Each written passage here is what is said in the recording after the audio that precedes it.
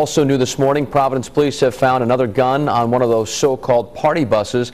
Today's Providence Journal reports a loaded 357 caliber revolver was seized from a bus at the corner of Weybosset and Union Streets. The discovery comes a week after two handguns were seized from a woman on a party bus shortly after a shooting outside the Level 2 dance club. Both buses came from Massachusetts. Level 2 was closed by the city's Board of Licenses after the shooting.